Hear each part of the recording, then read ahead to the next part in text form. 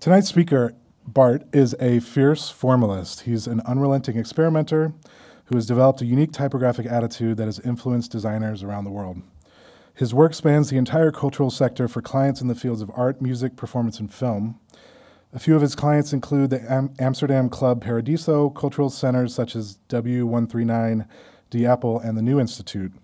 When he graduated from the Rietveld Academy in 2003, he was immediately drafted to work on Archis magazine with Daniel van der Velden and Maureen Mooren, which was a highly influential architecture magazine and kind of a highly influential graphic design um, publication. Uh, when browsing his portfolio, you'll see that Bart presents the sophisticated projects he does for clients side by side with casual flyers and invitations to his next birthday party, suggesting a holistic persona that does not distinguish between life and art.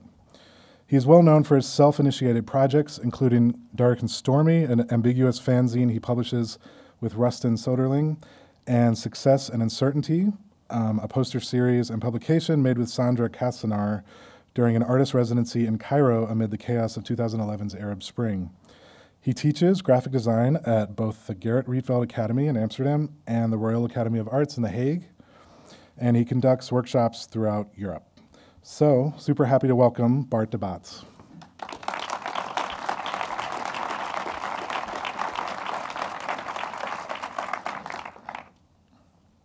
Um, hello, everybody. Uh, very nice to be here. Uh, thank you very much, uh, Emmett, and thank you very much uh, to uh, the Walker and the staff that I uh, got to meet over the last few days.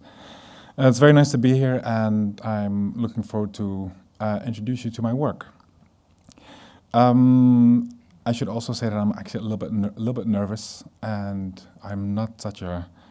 I, I, I don't really I don't really uh, lecture much about my work, so um, it's quite intimidating to to stand here in front of you all, um, uh, not being a native speaker, uh, and you all are. So, uh, um, but my English is just fine, and I'm sure I'll survive.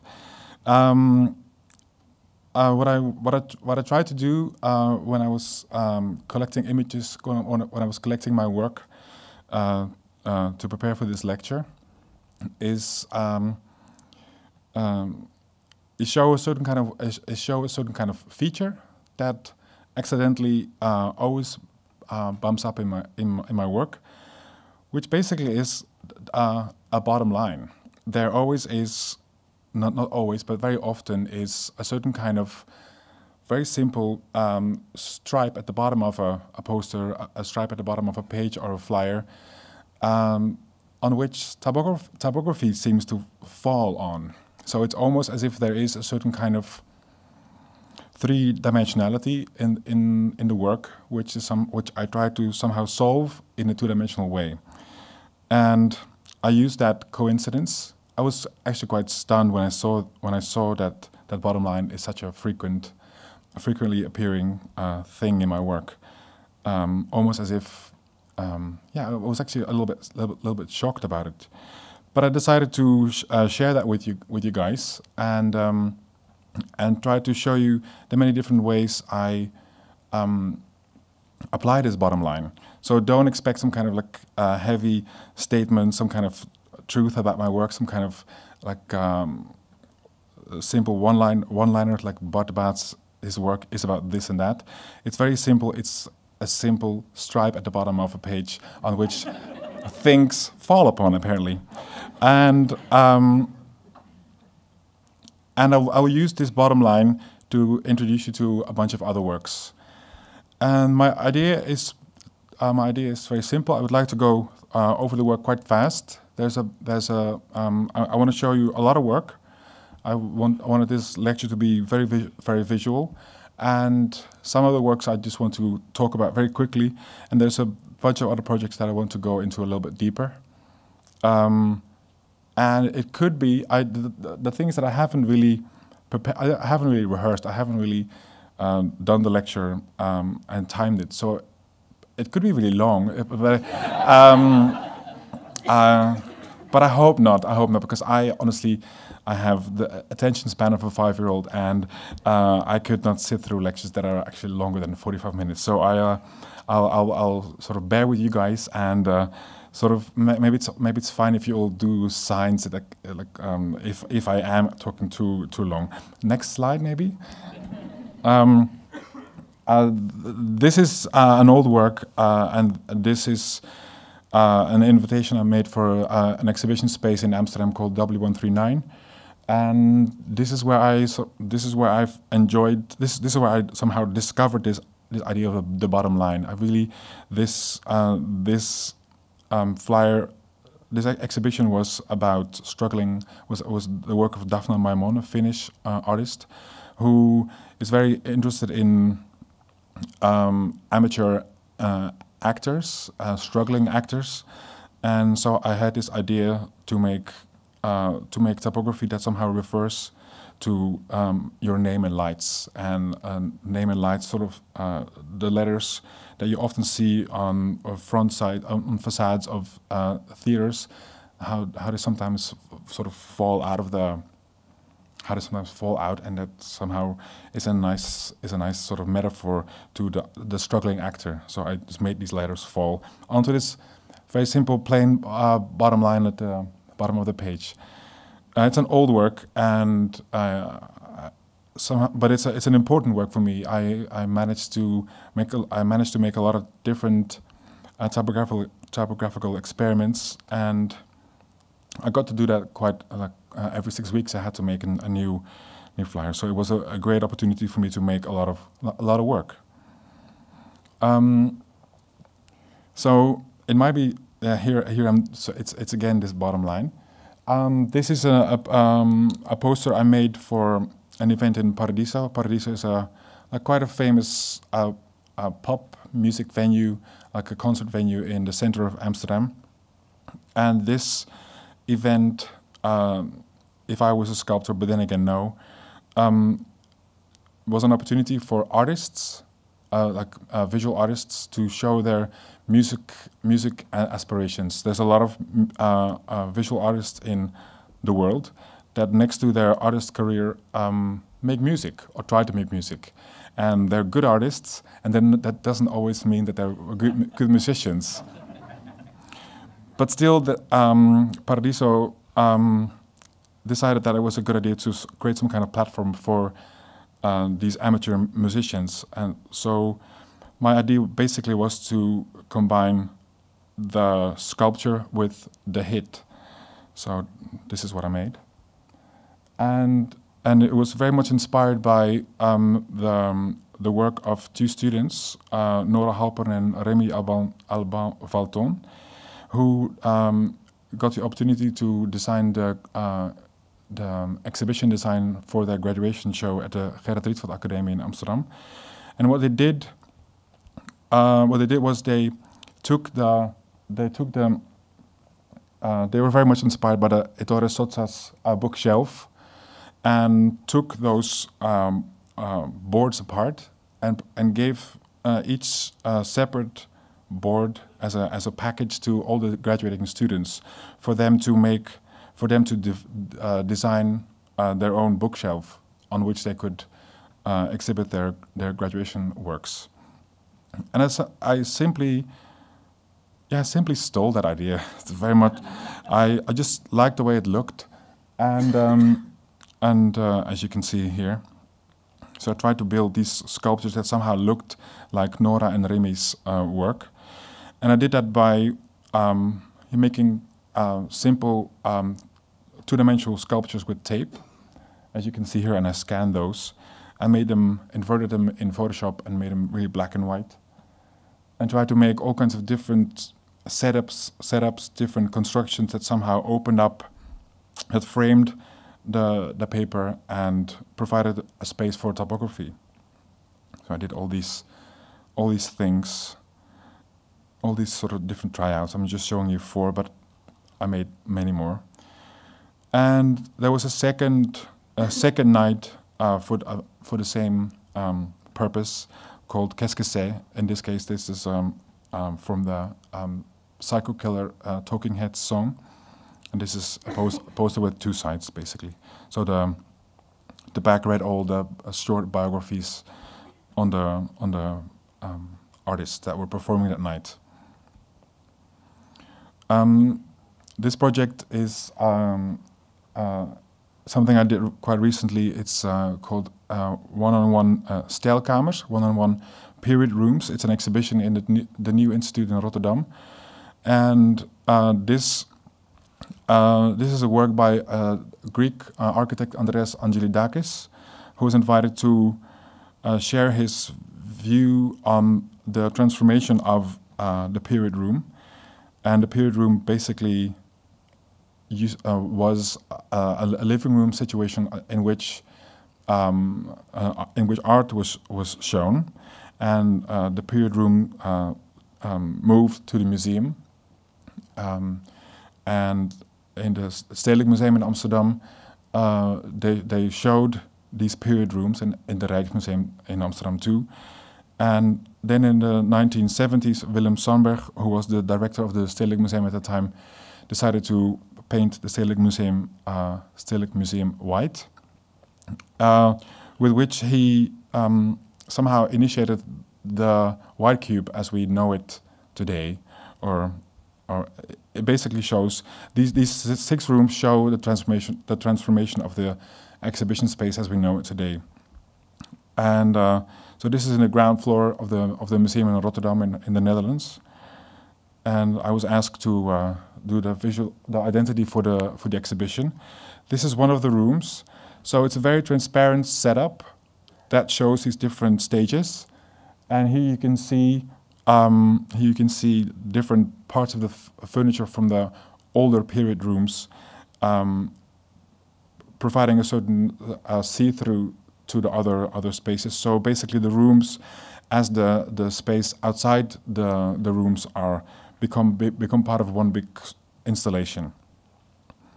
And when I started working um, on this exhibition, on on the design for this exhibition. Um, I was, uh, they sent me these images, these black and white images, which I immediately thought were very inspiring. They were somehow very visual and very, like, very, um, it gave me a lot of ideas. What I really liked about it is that um, they show like a very decor decor decorated uh, space. At the same time, they also show uh, hidden spaces. They also show uh, almost as if it somehow hides uh, as if it hides nothing almost. It's like a, a, a walk through to, to, another room, all kinds of uh, um, opportunities to show work. Uh, they create sort of decorative uh, backgrounds for, uh, for, for, for paintings or for, for sculptures, but paintings mostly. Um, I think what I'm trying to say is that the images, images that they sent me were very inspiring. so I made a very simple um, sort of frame um, frame um, framework, and my idea was to make black and white posters, to make black and to make a black and white identity that shows a hint of color. So the idea was that, I, that the inside of the posters would be very black and white, and that the outside shows these layers, these wallpapers, these hidden layers. Uh, so um, that, that's that's basically it. And here you can see again this idea of the bottom line, perhaps a, a little bit less less uh, literal as, as, as I showed it to you before. But here the the, the topography falls in the space, almost uh, like a tetri Tetris game. So this is a folder I made with a, a brochure that that goes um, with it for all the visitors to take with, and um, thing on the on the right is a, another brochure. And so it's a, it's kind of an it's a, it's a nice it's a the it's an ongoing exhibition. It's it's on on uh, on this uh, on display right now in, in Rotterdam, and the thing that you see on the that you see on the left is a is a simple uh, folded piece of paper to uh, um, an A4. But I I, I I think to talk about A4s and A, A formats to you guys makes very little, little sense. Um, um, so, so uh, now that the exhibition is still on on the on display, I get to make all these small, smaller um, publications, smaller things that that are that are inserted in uh, in this folder. Um, this is something I want to talk about very, very quickly. This is the uh, the identity for uh, a small company called Art People, and um, Art People basically is a um, uh, recruits um, students, uh, young people who um, want to work in the arts. So I, I, I, made, I made up this uh, this simple um, a bunch of spirograph uh, looking images. Uh, I ordered one online because I, I, thought I thought I, I, thought I would I, would make it by hand. Um, but then I but then when I received it in the mail, I tried it um, and scanned it, and I was just as frustrated as I was uh, when I was a kid because I never really managed to make them look as beautiful as they looked on the package. But then I was then I thought maybe this idea of frustration, this idea of making mistakes is actually is actually interesting because it's such, a perfect, beautiful shape, and it's actually really boring to make these pretty looking um, sort of flowery, strange network looking things. And I thought perhaps the mistake is the most interesting thing. And you could say that if you are uh, uh, recruiting for people to help you build up an exhibition or whatsoever, you're creating a certain kind of network, and this person that you're looking for is the missing link. So that's kind of the idea behind this. And the thing is that this, I, I, I, I like, I like the way this looks. And I, I, although the idea might be slightly, slightly silly and perhaps a little bit cheesy, um, I like, I like the way it looks, and somehow I wish that the people from Art People would give me more work because I don't know, it's just um, I think it's a good. I, I, I, simply think it's a good idea, and I just need to need to. I would like to elaborate on what this identity could could do for them. Um, this is a wine label I made for um, uh, a biological wine farm wine farmer in uh, Barcelona, and here I really try to um, again this idea of the bottom line. The three there's a certain kind of uh, hunch of a three-dimensionality, and it's try to sort of stop it, try to sort of stop this idea of wheels in motion, and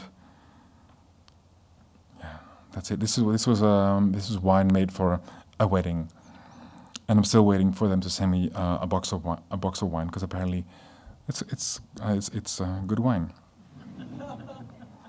Here you can see uh, the actual labels and uh, the bottle uh, at the wedding.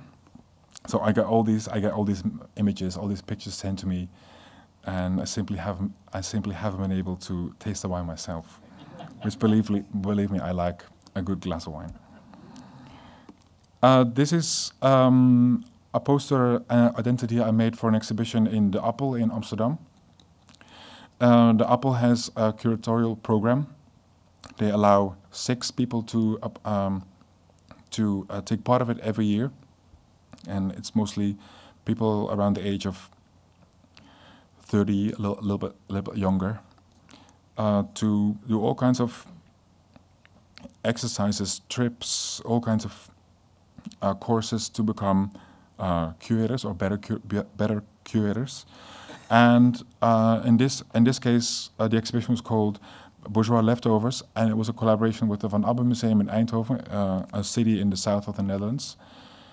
And uh, the Van Abbe Museum, uh, in their archives or in their in their archives, they had a big bunch of paintings that somehow never made it to the exhibitions. Those were somewhere um, not so popular uh, paintings. Perhaps they were a bit ugly. Perhaps they were a bit dusty. There, were, there was something about those paintings that somehow they, they just never made it to the shows. So the um, in this case, it was six, six girls. They decided to embrace those uh, leftover paintings and ask a bunch of uh, artists to work with these paintings to inspire a new work or to to combine it with another uh, already existing work. And I quite liked I quite liked how I quite liked how open they were about this. How how they somehow gave these um, not so popular paintings a spot. So I quite liked this fragile this fragile, the fragileness of the whole of the whole thing. So I made this very um, breakable uh, uh, setup, uh, with, and with hyphen with the hyphens of the word leftovers, I suddenly came to this strange uh, const construction of simple uh, black lines, uh, simple lines, and pieces of of frames of paintings. And so the construction that I made um, suddenly provided all kinds of spaces for typography, for content, and I quite liked how how white it was, how, how empty it was. So I got to make all these different things. These are all the artists. So these are the names of the the painters that were never um, that never made it to the show, and these are and these are also the names of the the contemporary artists who uh, worked with these paintings. This is the uh, a book I made, and I was I thought I thought this was the best thing of the whole uh, of the whole job because I really enjoyed building the I really enjoyed building these constructions. I really built I really enjoyed it. And I, what I really liked about it that this book cover did not need any did not, did not need any typography. I had to convince the girls because, of course, you want your name of the book on the cover. But I I managed to do so, and I think it results in in, in quite a mysterious, strange uh, object. These are some pages from the book with really big page numbers. And this is uh, de grote Amsterdamse kunstkalender, the big, uh, the the big as in the massive uh, Amsterdam uh, art calendar, and massive because it, I, every every participant to this uh, calendar got a copy, and I received it in the mail and was a, a, a, a very heavy, very heavy object. So I was when I, I actually googled this image, and I was quite su surprised how this person is able to hold it with one hand because I really, really, really can't. Um, the the uh, Amsterdam art calendar basically shows 365 uh, artists living in in the in Amsterdam, who all contributed uh, uh a piece to the to the to the calendar, and I, I was like, that's a that's a lot of artists. That's that's I cannot believe there's 365 good artists in, in, in, in Amsterdam. Do I really want to really want to be part of that? So I thought to myself, I only want I, I will only be part of it if they put my contribution on my birthday. So, um, and I basically said like, if you don't put it, if you don't put my contribution on my birthday, it, it won't make any sense. So this is what I did. I googled all the. I simply googled my birthday, and. Um, and uh, I am blessed to share a birthday with quite a, um, yeah, quite a quite a uh, gang, and um, so it's uh, Auguste Rodin is the is the the oldest one, uh, oldest one. My birthday is on November 12th, and Omar Omarion is that is that how you pronounce it? Um, Omarion. He's the young he's the he's the youngest. So it seemed it seemed most logic to simply place myself in between um, Megan Mullally and Ryan Gosling. It's, it's good good company I think. And um, I like I like these things I like I'm completely I'm very aware of the stupidity of this act and and I I somehow like play. I like to play with. Yeah, you could say it's it's naive. It's it's stupid, but at the same time, I'm just I'm just trying it out. I'm just I just want to see. I'm just want to see what it does. I just want to see how how people will react to it. And of course, they did place me on my birthday, so somehow this silly act worked. It's a good bunch. It's it's a it's a ni nice list of people. Uh, this is a print I made um, for uh, an art fair in, in Amsterdam called uh, Unfair. It's a it's a an art fair for um, young younger younger artists, which always takes place at the time where where a more yeah more um, uh, adult uh, art fair takes place. And this was a print that was given out to um, the, the, the friends of the friends of friends of the fair. So people who paid a, a little bit more extra uh, to get in got uh, got to choose um, a print, and I made this, and this simply shows um, uh, a bunch of paintings by uh, Jackson Pollock, and I, I created I created a, a rumor, and um, and um, so it's a collection. It's it's about Jackson Pollock's collection, and it's also it's a, it's a collection of Jackson Pollock's work, and um, of course is not this is not true. Uh, but I quite like I, again it's it has a little bit to do with the thing I talked before uh, with uh, the birthday calendar. I, I I quite like yeah the stupidity the stupidity of it and the fact that I can somehow use a certain fascination for trivia uh, with my ability to uh, lay out to to make things look the way I want them to to, to look.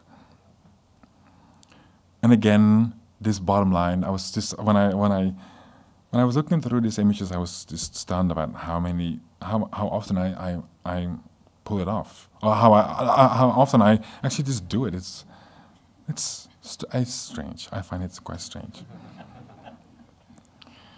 This is a, uh, a card I made for the Berlin uh, Book Fair, and it has it has very much to do with the things I showed before. It's again a certain kind of mashup of information that that does not necessarily have anything to do with one, one another. I'm just trying to see what it does. I'm trying to see how it works, and and I also like the ability. I, I like the fact that perhaps it doesn't work. Um, the thing is, I don't get paid. I didn't get paid for something like this, so I, it somehow provides me with a. I, I think um, I should take that um, that fact that I don't get paid to yeah give myself a certain kind of freedom and uh, experiment with things and yeah and I've often said this is the best thing I ever made, but is, people say no, but it's not true. This is not the best thing you ever made. But I quite, I just kind of like, I'm, I really, um, one of my, one of my um, uh, most like, I'm very inspired by the work of uh, Claude Closky, a French artist who, a French artist who makes who actually makes like the the guy on the right. Um, it's I, I, ripped out uh, um, I ripped out a, uh, a, page from a porn magazine, so you know what's happening on the on the right page, but I just liked I just liked sort of the by adding that that ZZZ you completely change the context. And I I quite li- I just just like kind of like hmm, that, I, when I when I made this I thought like this that that's that's smarter that's funny or And then we come to this, which maybe if you have if you have visited my website, you've seen. Um, this is an image I found on Google, and uh, years ago, and I had the opportunity opportunity to make a bunch of free postcards, and I could not come up with I could not really come up with anything, so I decided to print this image. Um, and I've been really crazy about I've been really crazy about this image. And people ask me that, don't you think it's time to change that that that image on the first page of your website? And I think I think everybody's really right about that. um, but still, I just really enjoy this. I just en enjoy this image, and I enjoy talking about it, and I, I enjoy looking at it, obviously. Um, but what I really like about it is that this is maybe maybe you don't know or maybe you can't see, but this is Cristiano Ronaldo um, on holiday with his friends. And what I really like about it is that he has the ball, they don't. Um, he's in he's in the air, so which somehow makes him he's he's uh, levitating. Is that the word? He's he's somehow in the air, which somehow makes him look like he's flying. So he is this superhero that you that you that, you, that we all know he is. And what I also really like about is that his friend, the one with the white shorts, is not so uh, in shape as, as, as, as he is. So there's all these things that somehow really sort of underline his position, like this, the, the, the yeah, the guy, he, the guy that he is. Or, and I also quite like that the ball is in the right, in the, like, in the, in the top right corner. It's, it's a, it's, it's, I think it's simply a really beautiful image, and, and, um, and it has nothing to do with the fact that they are wearing uh, that, that they're not wearing their shirts.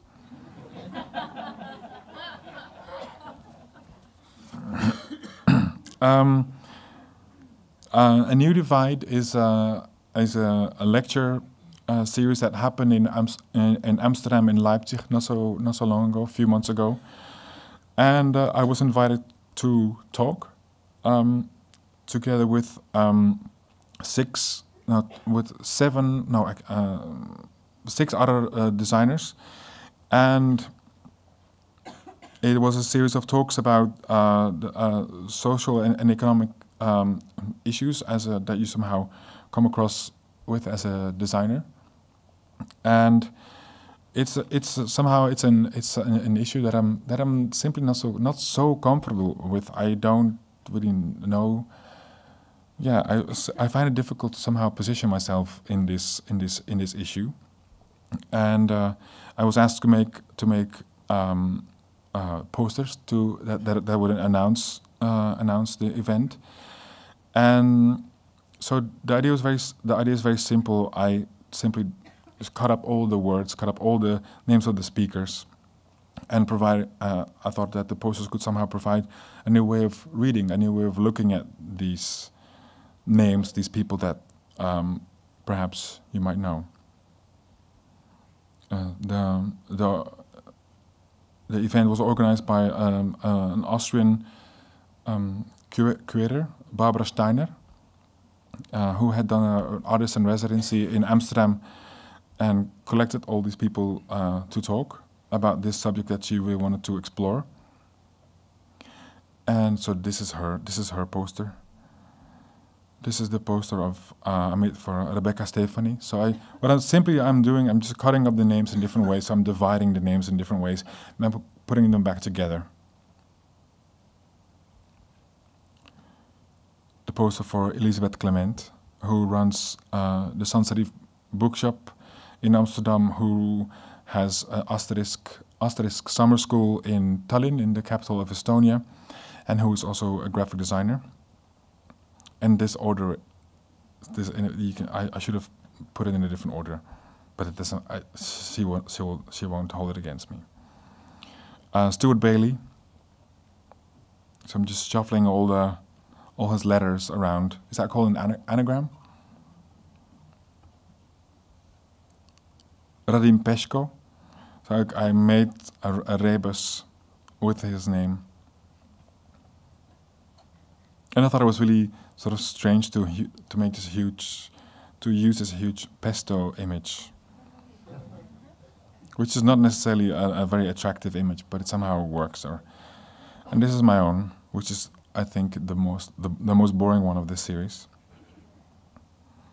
And um, yeah, maybe it's in, maybe I want to maybe it's interesting to talk about it for a little bit longer, but I'm maybe I'm I'm not so not so uh, comfortable about about the topic of the of the the new divide um, uh, series simply because I don't know I I feel like um, it's very important to me that my work that I I, I, I initiated think that I initiate my my own work and that I, that I do things for which I'm paid. Commissioned work and self-initiated works go go hand in hand, and that really somehow defines me as a designer. I think that those things really feed feed off each other, uh, and I also think that one could not exist if it if it weren't for the other.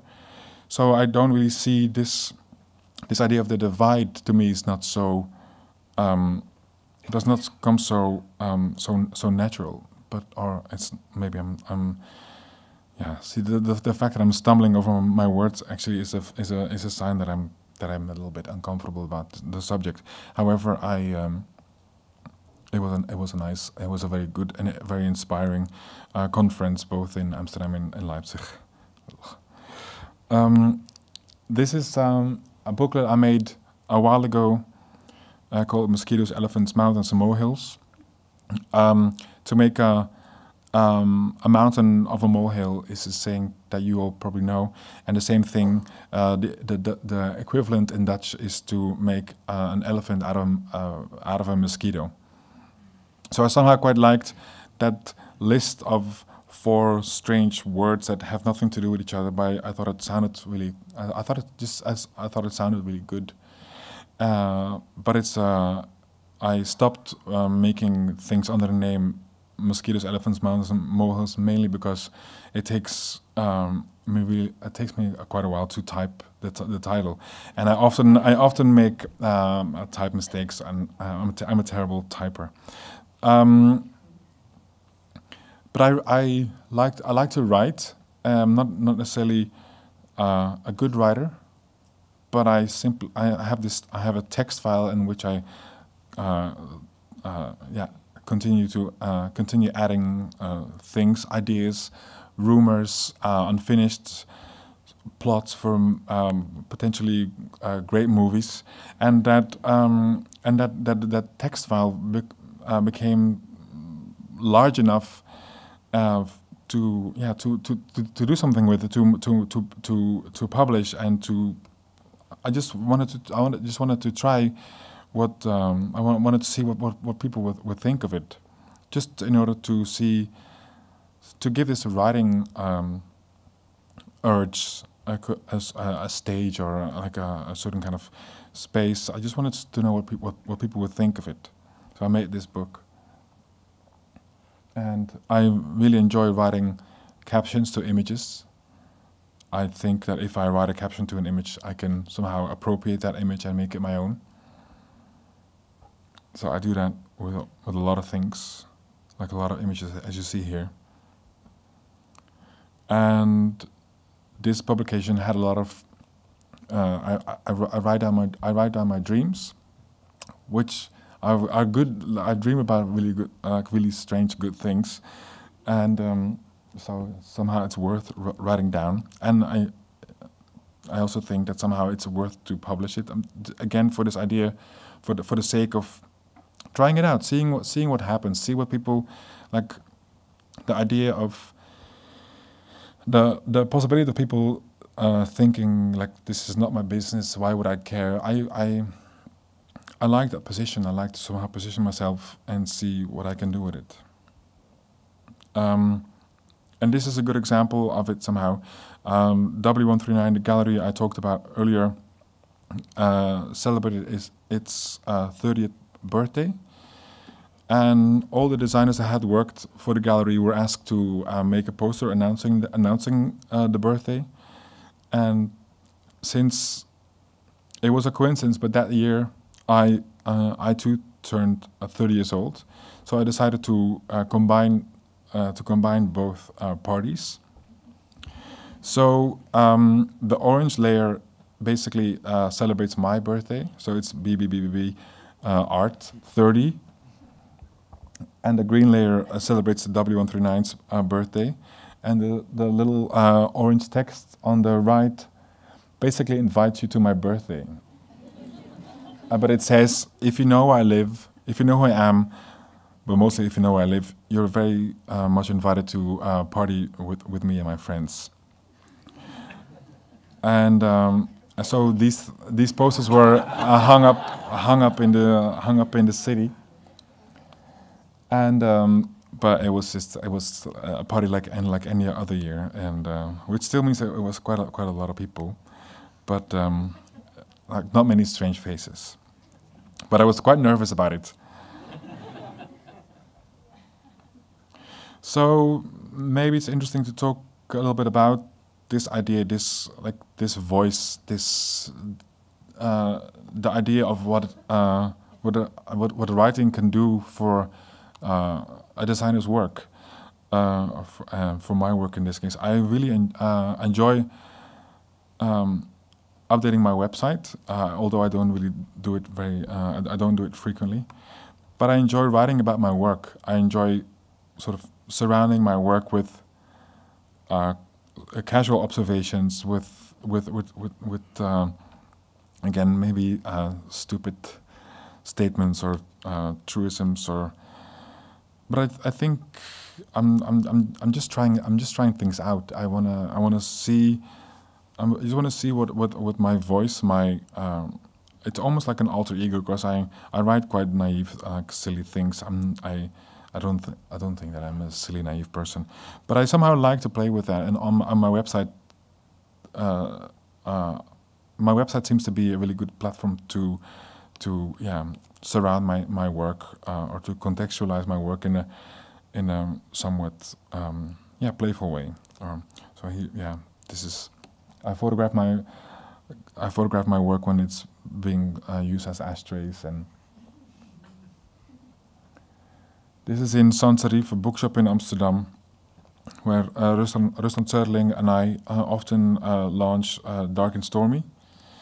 And this was a night where I uh, asked some students of mine to um, make a cocktail, make cocktails, and work uh, work behind the bar.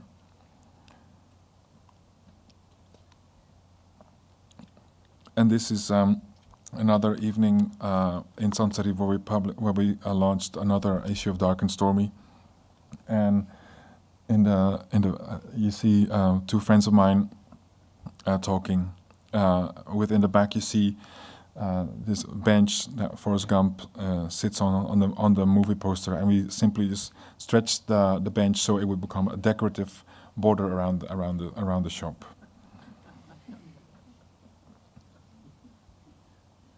My birthday invitations, um, quickly, because I think um, uh, two friends in Amsterdam told me to show these, but I think they're old and but they're fun and they're but I saw they're they're, they're an important part of my work, but I don't really do them anymore. I don't really make these over the top invitation uh, invitations for uh, for my birthdays.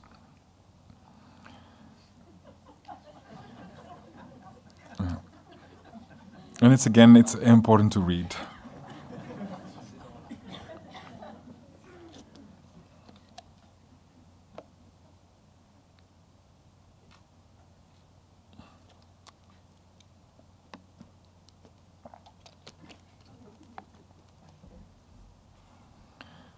I simply have stopped organizing birthday parties. I just um, I became too busy. Um, I live I live um, in um, I live w- I live with a bunch of flatmates in, in, in Amsterdam, and our our kitchen basically we have a like the the, the a, we have a, a bench in the in the kitchen, and if you are if you if you arrive early at the birthday party and you sit on the bench, and more people arrive, you're basically screwed, screwed for the rest of the night because you can't really go anywhere.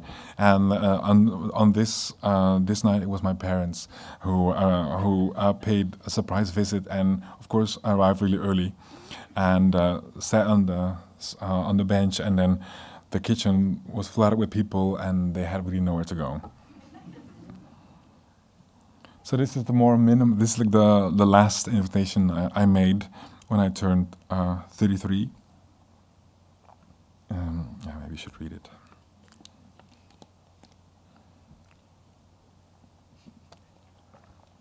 And I write in, in English because uh, the Rietveld where I studied uh, has a big, um, a big uh, foreign uh, po- like population. Is that the right word? There's a lot of foreign students at the Rietveld, and and most like a lot of them still hang around Amsterdam. So uh, since 1999, I've been talking like I've, been uh, talking English uh, on a on a very daily basis.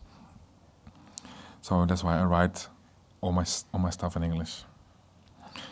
Um, I teach at the uh, academy in The Hague and at the academy in Amsterdam. And when I started teaching, I was uh, still quite young. I was uh, 28, and I was very I was very excited about teaching. I still am very excited about teaching, but perhaps I was a little bit too excited. So every assignment that I gave the students, uh, I took the opportunity to, to completely uh, like design these assignments, and um, and I, I do that because I can. I do that because I can. I can. I can make things look the way I want.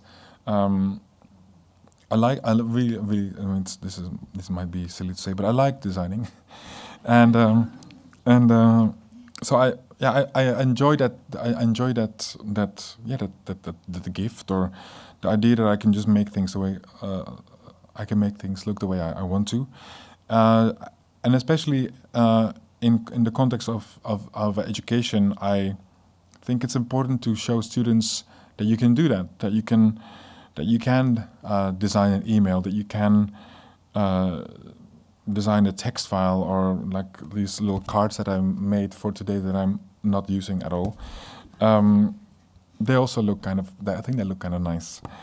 Um, however, uh, this this was silly. This I did this only for a half a year, and then I switched to these things. I still design my assignments, but I I thought this is taking up too much too much of my time. So I'm I'm I'm making these like long paper strips which the students use as bookmarks. They um, um, like a lot of the students still um, start working uh, working out their ideas in their sketchbook, so they use my assignments as yeah like sort of yeah bookmarks, very simple. And I teach the the the, the, the, the design class on Monday morning, and um, it's I'm having having a really good time. We we, mas- we, we mainly uh, do all kinds of very open open assignments that have very particular uh, restrictions or quirks or that somehow influence the design process. But it's mostly just talking about talking about ideas and the way they deal with the restrictions. So I'm just showing you a bunch of assignments now. And this is perhaps not the most legible for you all to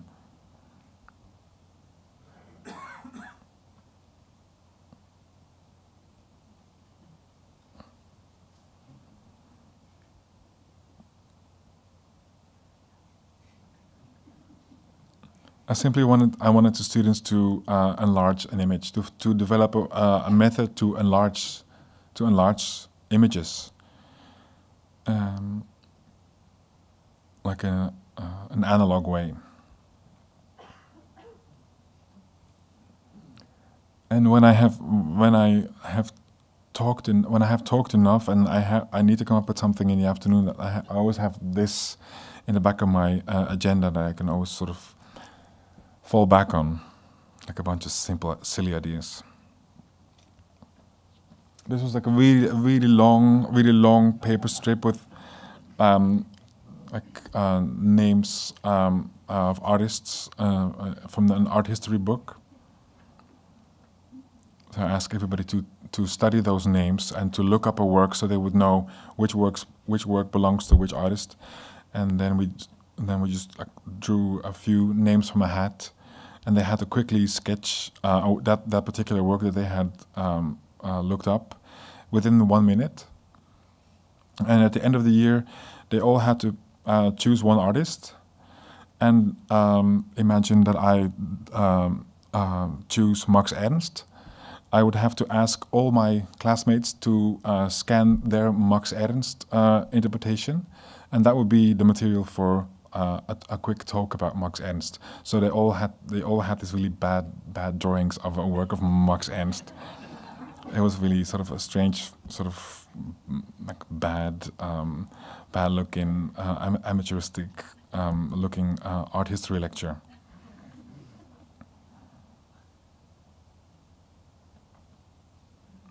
So I really, I really, um, I really enjoy making these things, and I, I, I, I think that the students also uh, enjoy. Yeah, they collect them. That's kind of nice.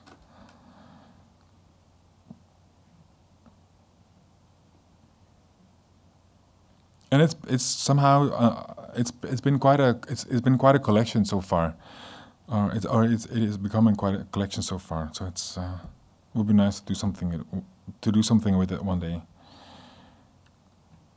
Here I ask the students to, to take, a, take a look at the format of a lookbook and to develop a lookbook, lookbook of their own. Uh, this is a, uh, a, drawing by Saul, Saul Steinberg. Uh, it's called uh, Techniques at a Party. So you see all kinds of different drawing techniques, um, um, drawing a, a, a, particular guest at this party. And uh, me and Rustan Söderling uh, used this drawing to uh, as an inspiration for a workshop at the St. Lucas Academy in Ghent, which was called Three Days a Slave, which was right uh, after uh, 12 Years a Slave had just won the Oscar for, for something. Um, and we basically, we hung up this poster and asked the students to sign up uh, in each category. So they had to write their name in in both the typographical jobs and the image jobs, and um, they and we asked them to develop um, a handwriting tool or a special effect tool or a portrait tool or a, uh, a ge geometrical shaped frame tool, and they had to do that within 45 minutes and then present those um, and those tools to each other, like you're really like you're selling something on the market that says like um, three for the price of one, or like uh, yeah, I don't know. and then they came up with all these things, all these sort of experiments. And then the next day we showed them this poster, and we asked, we basically told them, okay, now you all have to use each other's um, tools to remake all these images. So remake all remake all the images that you see on the poster. So these images somehow represent a big bunch of like image icons from the last hundred years. And our ideas, our idea was to make some kind of book that shows an overview of, of these of these images, of these icons, uh, using these tools, using and and then they made this book. Um, so this is Mickey Mouse. That's Jim Morrison on your right. The um, um, I, I can't really I don't know what the, what Metro Goldwyn Mayer uh, logo. So they really had to use each other's uh, skills in order to remake those remake those those icons. That's the the back cover. And Ghent is Ghent is uh, the academy in Ghent is um, is it's it's really really it's kind of it's kind of close to to to Amsterdam. It's it's a very different it's a very different academy, but it's run by a bunch of a bunch of guys that are doing a really good job, and it's it's it's nice to have such a di completely different academy uh, than than the Rietveld or the KBK so close by. So it was a very it was a very yeah it was a very nice trip. It was a very it's a very nice city, and um, those three day three or four day workshops are are actually quite intense and it's quite it's quite nice to simply just be able to make a book at uh, in in such a short amount of time. This is us. It's me. It's me and Rustan. um, uh, I was working the the the the gallery that I uh, showed work for, work of before W139. I was um, I had a job there too. I was working as a guard, uh, looking over the exhibition, and um, my colleagues upstairs at the, at the office knew that I somehow had this I, I can't really I can't really stand stand reggae. It's some uh, it's it, it, does something to me. So they um, um, so they uh, gave they brought me a sandwich that had a, a thick layer of butter on it and with uh, chocolate sprinkles. They uh, um, basically uh, made this stupid statement. Um, Rustan and I were asked to uh, we were asked to um, uh, take part in a, at a, intervention series at the Paradiso, the, the same venue that hosted the If I Were Sculpted But Then Again No uh, event that I talked about in the beginning of the talk. And the idea was very simple. Uh, can you make an can you make an intervention in the space or on the outside of the space during um, a regular um, a regular uh, night. So uh, our our idea was to uh, take over the like you, you, can see here on the facade they hang. Uh, this is uh, where they hang all the posters that advertise or that announce all the upcoming events. So what we did was we made a, uh, a certain we made a format in which we laid out all the all the typographical information that you read on the poster that you read on the poster, and we uh, put it in this reggae flag. So all the so all the uh, upcoming concerts suddenly become reggae events. So there's Heather Nova on the, the, the third poster that you can see. All the information that the poster reads suddenly is placed in this reggae reggae flag. And what is what is simply what I what I really liked about it is that it provide that it suddenly gives this, gives the building this kind of uh, decorative uh, banner. Uh, that is yeah the, the, the the colors of that of that flag are so recognizable. So it really represents reggae in that case, and um, we somehow just like that that that that takeover.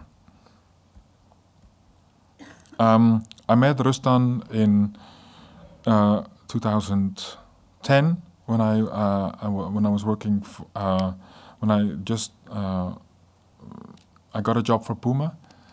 We had to uh, I had to make a, a bunch of shop displays and a bunch of fanzines, and I thought Puma that's probably a really big job and uh, probably uh, it's gonna probably gonna come with a an impossible uh, deadline. So I thought let's let's ask someone to help out, and I liked his work. I liked his graduation work, and he seemed like a fun guy because he was always out and was always having a really good time with his friends. So I thought let's just get let's get let's get to know this guy a little bit better, and we uh, start. He he helped out, and then we made a bunch of fanzines for Puma, which in this case shows a a, a, punk fanzine, and then we liked the format of these fanzines, uh, which were very simple, like a, a paper folded in in two.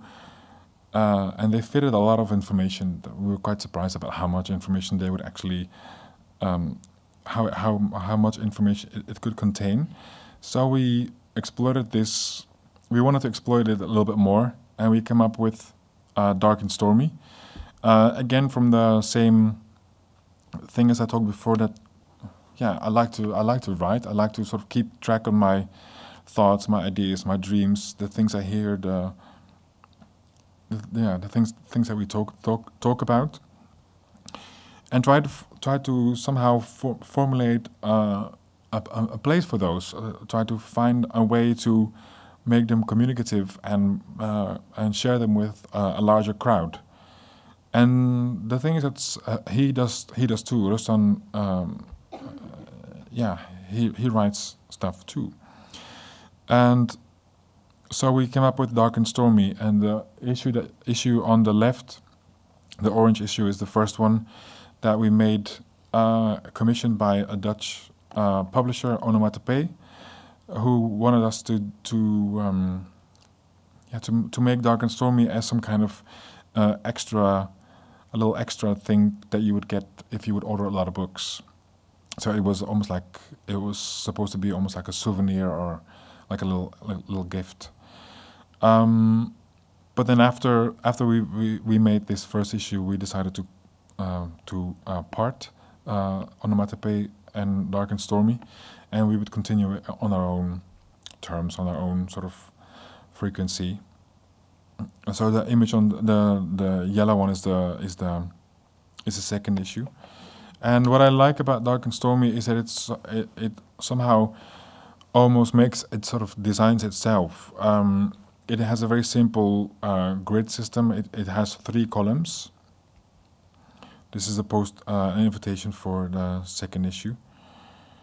This is the th uh, this is the uh, the third, and this is the post. I'm I'm going over this a little bit quick, um, but it somehow this, it, it almost sort of designs itself. Uh, the, the, column on the left, the the the the, the, the most narrow column is uh, is um, a column for, for for like more quicker things, for lists, for for like really short stories, and then the column on the right mostly features one longer article, and then the the the middle column is used to uh, develop a more expressive typography, and um, and somehow whatever happens or whatever we come up with also results in a way to um, uh, write the titles inside the magazine. So in this, in the case of the green, like we, we came up with this more uh, rebus. Do you know what a rebus is? Is that the right word? Um, we came up with this kind of re, uh, rebus kind of yeah typography or uh, style, and um, we just try to uh, apply the same thing uh, with the titles of the different articles. Um, and we always paint it on a different color. So this is the third issue uh, that you that you saw a quick image of bef before with uh, the Forrest Gump um, decorative um, um, wallpaper. And this is a poster that we made for the event. For the event.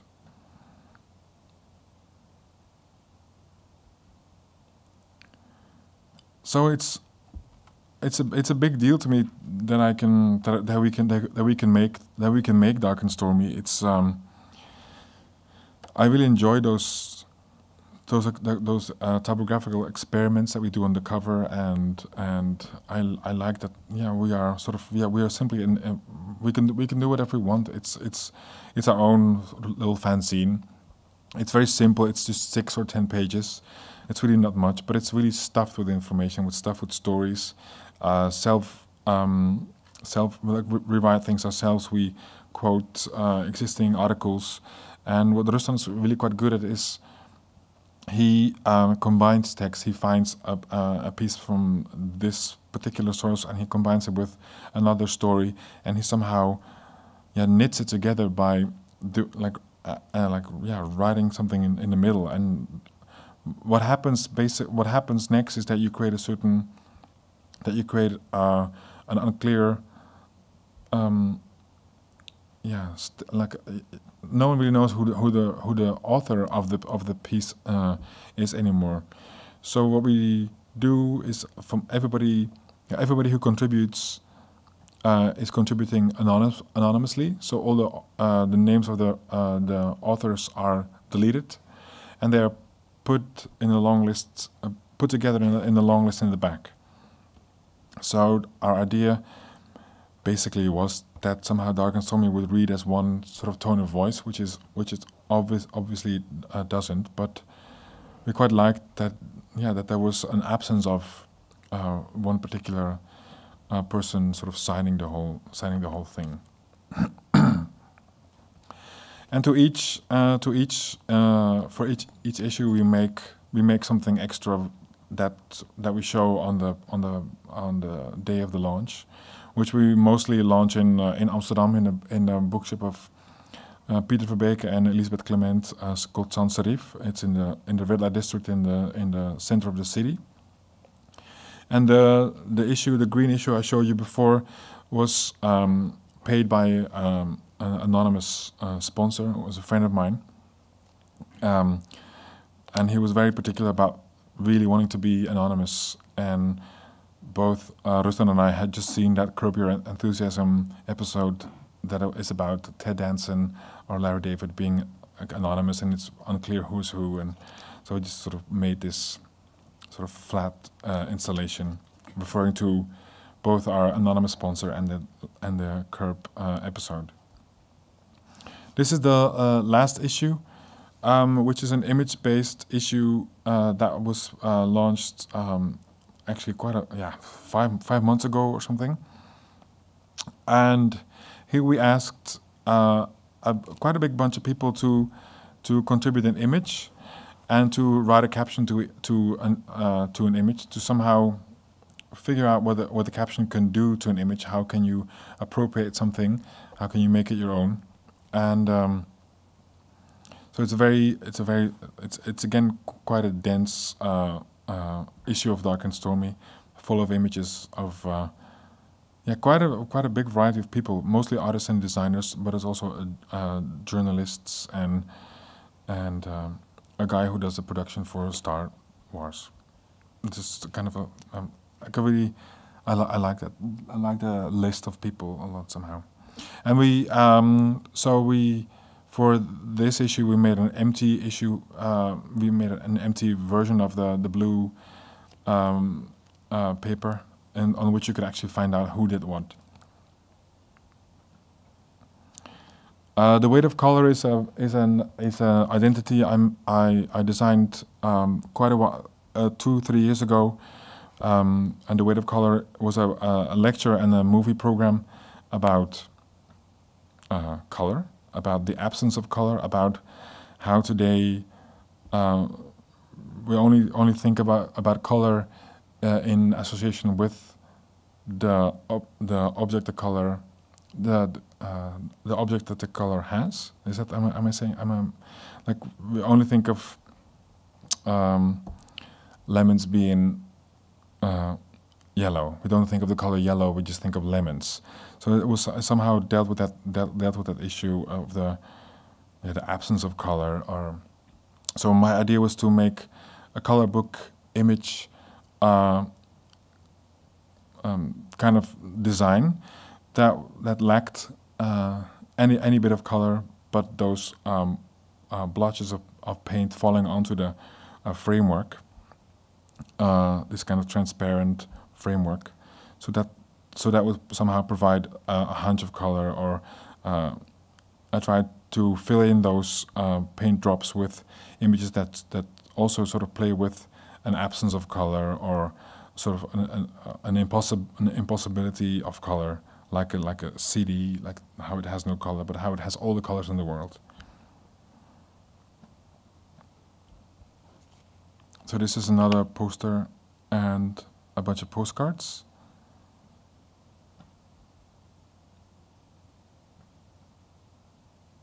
And another poster. Um, this is uh, this is uh, again uh, an exhibition for the new institute in Rotterdam. Here you can see uh, um, like almost it's, it's, almost like a molehill. Uh, it's a, it's a, it's a building, or it's a pavilion designed by uh, Surge Architects, a Dutch architect firm, and this this hill is um, so covered in grass as you can see. But once you go inside, you enter this very uh, plastic, uh, artificial-looking dome uh, that has a, a, very utopian uh, tropical garden garden in the middle. And uh, I was asked to um, come up with uh, um, a visual a visual identity for the exhibition, to make posters and booklets and and flyers. And I really liked the clash that um, I really like the clash that those those worlds made as soon as you walked into the uh, in, into that pavilion. Um, it's important to tell. In this case, I want to tell you something about the identity of the new institute, which is designed by Marie, by Maureen Mooren, and she has developed uh, this. she calls it a label, and uh, she really wants. Uh, she uh, uh, gives a lot of uh, Dutch, mostly Dutch designers the opportunity to work for her, uh, to work for the new institute, and she asks to incorporate this label, which maybe you've seen in the in the previous thing of the one-to-one uh, period rooms. But the label is quite it's it's kind of a heavy uh, yeah thing. It's a kind of a heavy part of the uh, layout, and she really wants it to be almost like a label, like like you have a label in the back of your shirt, like something that is that has nothing to do with whatever the designer com comes up with. And I quite I quite like it because what I uh, struggle that maybe uh, some of you uh, recognize is is dealing with log dealing with logos. Dealing with logos is never really never really a fun thing. It's you, you cannot really escape it. So you always sort of have to sort of like an inner battle. Like what, what what will I do with the logos? Will I sort of put them in the corner, or how do I, how do I do it? So in this case, there is really no escape. This logo is so present that it in this uh, in both in the period rooms and uh, in this case really um, yeah inspires the des- the logo in this case inspires the design. So um, in the case of the uh, Utopia uh, new pavilion, it's very much about Moraine's, Maureen's sort of uh, presence and it's about mine. So what I what I basically did is I zoned off my space with tape.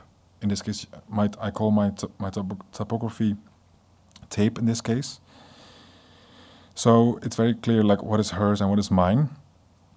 And just like in the in the in the pavilion, I I grow uh, I, I, grow a, garden, a very artificial looking garden.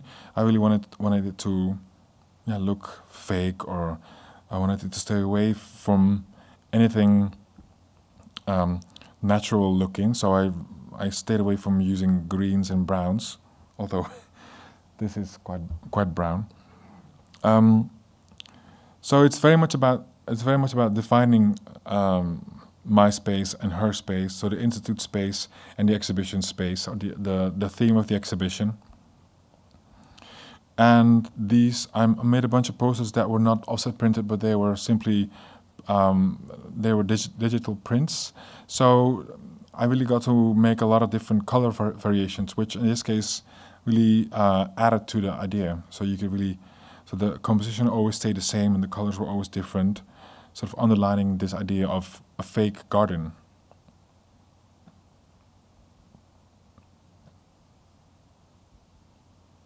This is a small brochure I made. And this is like if you if you unfold the thing, then you get then you get just um, just um, like this kind of leaf patterned thing. This is a picture of a band uh, called Total Control from um, um, Melbourne uh, in Australia, and they um, it's the guy on the left, James, uh, contacted me uh, a while ago if I wanted to make a poster poster for their uh, tour in uh, the US, and that I, I tried a bunch of different things, and that that they, although they gave me all the freedom in the world, they never liked liked what I did.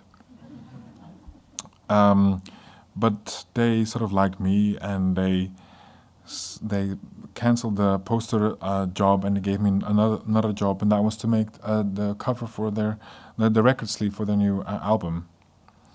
And that that too wasn't an easy process because again they uh, dismissed a lot of my a lot of my ideas, a lot of my proposals. And then one day I came to the to the office, and I checked uh, Facebook, and there I saw that something had happened. Something had happened in the Vatican. Um, the Pope had released these two peace doves, and they were immediately attacked by a seagull and a, a black crow. And and I was mesmerized. I thought this was amazing. And um, yeah, just I was just I was sort of blown away by the incredible symbol, incredible symbolism of this, this, this, um, this happening, and uh, how the, the, the, Catholic Church is somehow attacked by whatever, um, the devil or uh, ISIS or whatever, whatever you want, whatever you want to call it. That's really horrible what I'm saying.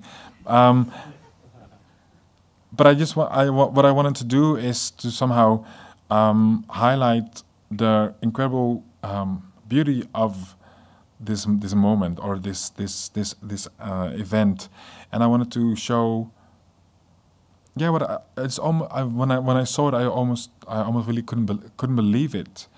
It seemed too good to be true. It was such a so I I had just watched um, a series of documentaries called Contacts.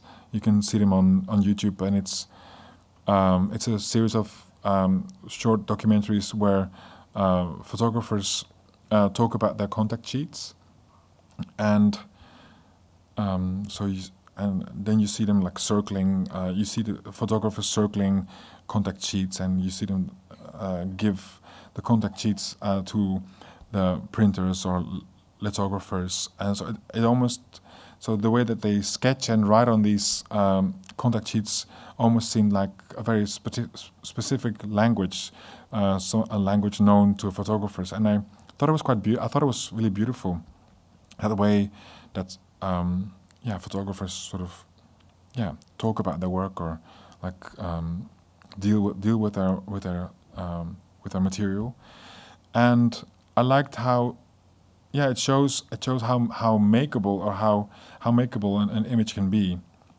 and that somehow felt quite uh, that somehow really uh, uh, worked worked well with this image. So I simply tried to make it more pretty than it already is by by framing it by suggesting like by suggesting a, a different kind of cropping. And uh, the ba- the the band's the band name and the band the album's uh, title somehow also deal deal with this um, that the I think that total control and typical system is a very uh, contradicting uh, uh, collection of words. So I I thought that somehow that that, that, that would work. This is the back. Uh, reading all the all, all the lyrics to the album and a short article written by uh, by James. And this is the the record itself. It's very yellow. It's not so yellow. Um, this is the last thing I want to talk about, um, and it's a very important. It's a very important project to me. It's called uh, Success and Uncertainty, and um, it's a project I did together with Sandra Kassenaar, who's a graphic designer uh, in Amsterdam, with who I uh, currently share a studio with.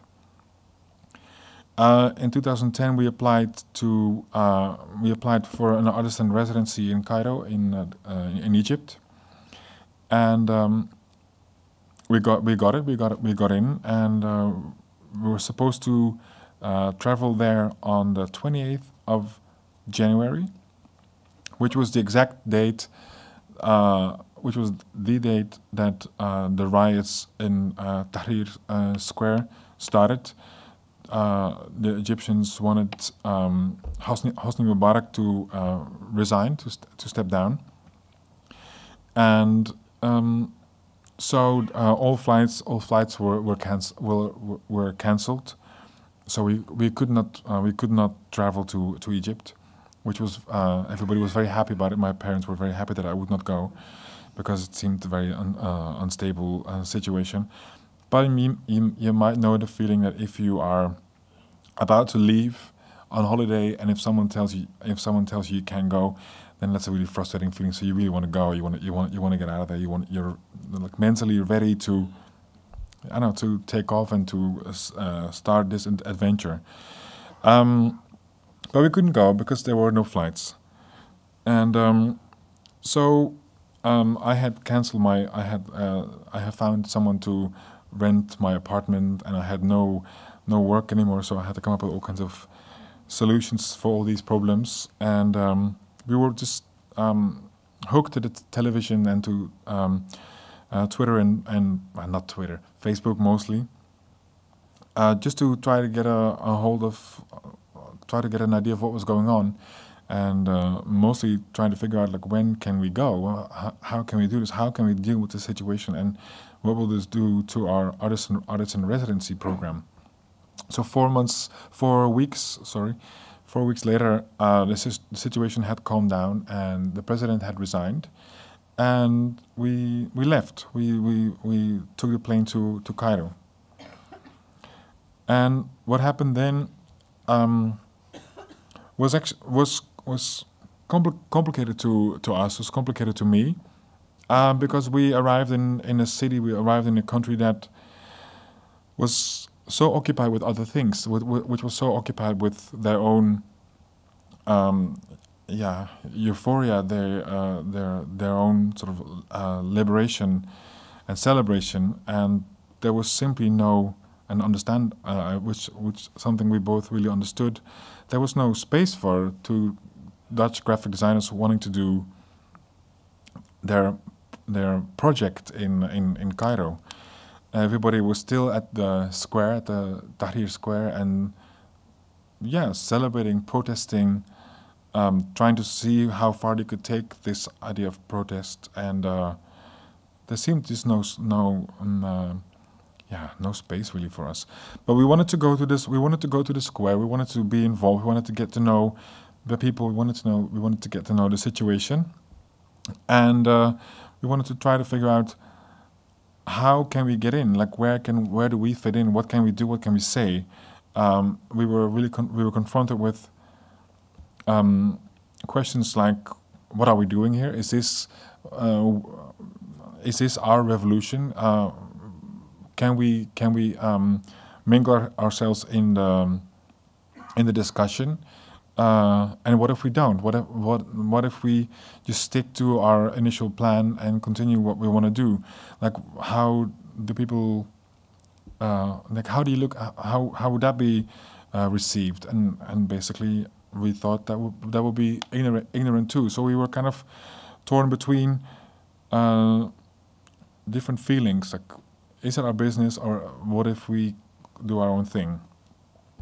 So that created a certain kind of insecurity towards our stay in Cairo. and we used our contacts, we used our time there to sketch, to visualize things, to to uh, collect images, to collect information, to collect news, uh, to we try to figure out how then how how does the news travel? How does how do you know that there's something going on in the square? That uh, how do you how do you know if someone is uh, taken uh, prison or like how how, do, how does how does news travel in Egypt in in a time like this? And we tried to visualize this in many different ways until the time that the resident, residency was uh, coming to an end, and we decided to take three weeks um, in which we would um, apply all our experiments, all our um, discoveries uh, onto uh, uh, a poster. Uh, Sandra is a, a, very different designer than than I am. She's uh, she's a researcher. She she is um, she's much more an analytical than me, uh, and she sort of takes her time um, to come up with a form. And I'm perhaps a little bit more intuitive, and um, we tried to. We were looking for ways to uh, collaborate to sort of combine that, and we actually decided not to. We decided to just sort of uh, put things on top of each other. I'll show you how that how how we did that, and uh, we decided to make. It, within that stretch of three weeks, we decided to make a poster each day, um, design it, send it to print, and hang it up. And you can see uh, next to the like on top of the um, the green el electric electricity booth, you see a light box uh, in which we hung uh, a poster every day. The funny thing about this picture is that when we hung our first light box, the the electricity booth was not green. There was not there was no uh, the wall was not painted red. There was no bricks. There, it was just a a, a gray sort of uh, dull looking wall. But we suddenly, perhaps the people from the this, the food stand on, on the on the left felt some some kind of competition and decided to sort of take or like to claim their space. So slowly but surely, uh, our our uh, spectacular looking light box uh, blended in with uh, this even more spectacular looking uh, hot dog stand. Um, so every day, um, we would make a we would make uh, a, a, poster and pick it up at the copy shop, um, not so far from our house, and then we would go to the we would go to the gallery, and we would yeah I would climb up on this on uh, on this green thing, and somehow that that that act of hanging taking down the light box and hanging up an, a new one became quite a a, uh, a performance, and it, and it uh, caused a lot of fuss, and people came to check us out and look at look at our posters and try to read them. And uh, we would explain we would explain what what, what today's poster um, was about, which was a very important moment for us because uh, we were we we were actually quite aware that the posters were not so accessible, not so readable. So the conversation that we had with the locals was very important, and they really those conversations really inspired uh, the next poster we, we would make uh, the day after. So here you can see um, uh, uh, a poster, um, number three in this case, and so the I don't know if it's very readable, but very clear. But uh, the newspaper grid in the back is Sandra's layer. So she would create a, a newspaper uh, format in which you could always uh, put, uh, post or place uh, articles that she read or that she wrote herself or that she collected or, or like interviews that she had with people, and I would react on it with a more visual layer or a more, yeah, I don't know, yeah, with more more image, image, image more image based, uh, more yeah layer and we yeah we really wanted to um, we had no uh, intention of being uh, sort of taking up a, a, an, an acti activist role. We really wanted to um, we really wanted to be journalists. We really wanted to uh, be we wanted to, we wanted to show that we were that we are graphic designers who happen to be there at that particular time um, in uh, in the history of the Egyptian um, in, in the history of of Egypt. So that somehow came with like a, a very a very uh, a big diversity of, of, of subjects. And in this case, this is a very sort of like simple and silly pr- problem.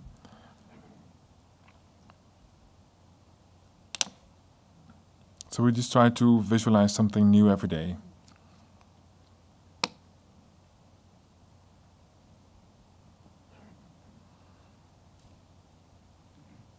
Sandra collect, collected uh, a lot of a lot of images from newspapers all over the all over the world um, that showed that, that used the same image, that used the same uh, phot- photograph that you can see um, here. It's like it's always that uh, the girl lifted up on the shoulders of of other people, um, showing a very sort of um, victorious um, mob or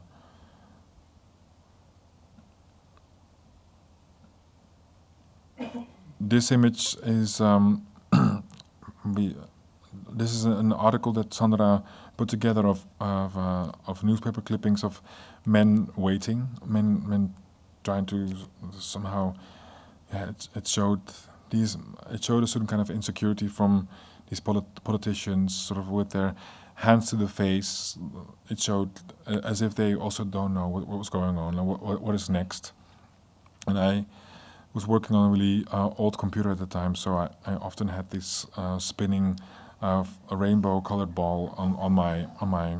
So that also showed that also somehow um, became a, uh, a metaphor for for waiting or insecurity.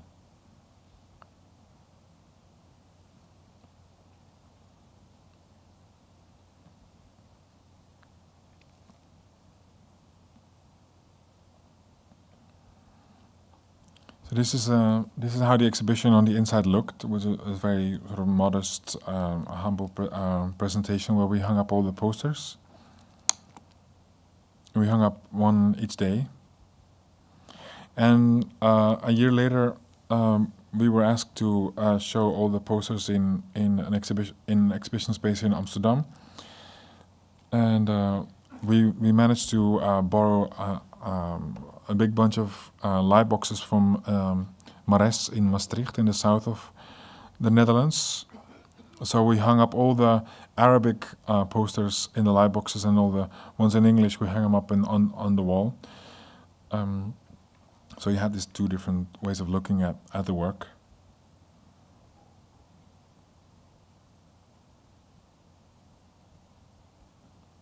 And around the time of the exhibition of the exhibition, we presented this this this publication, the backup of the of the of the posters. We always wanted to make a book.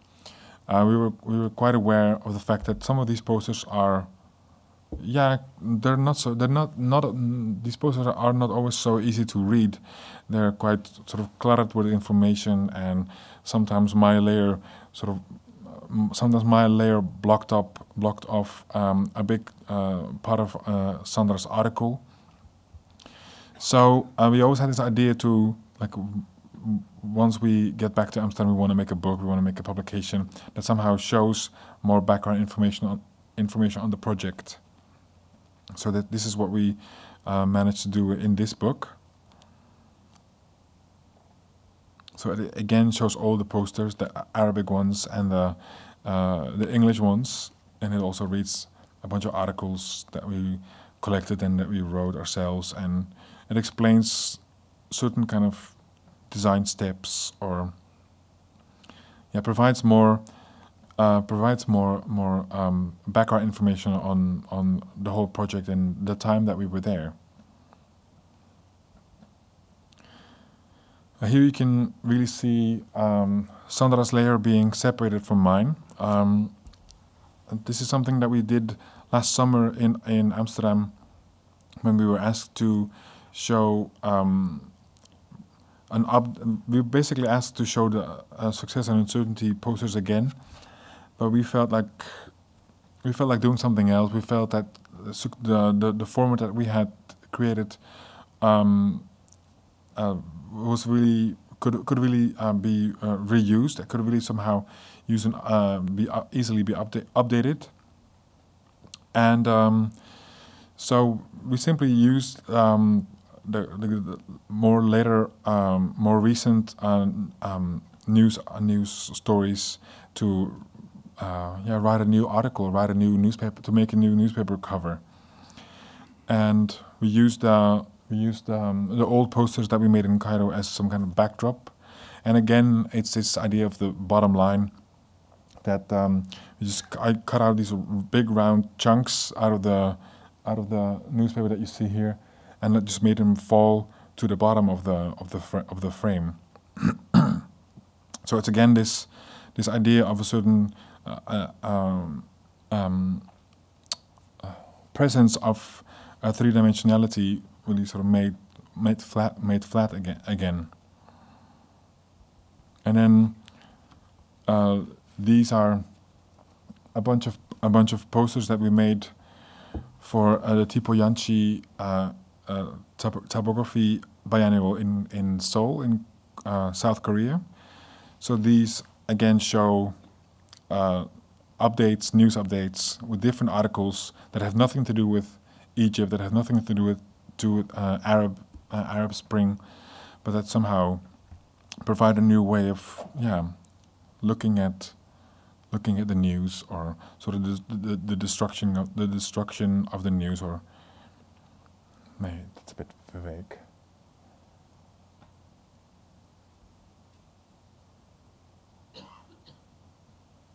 And um, that's that's that's it. Actually, thank you very much.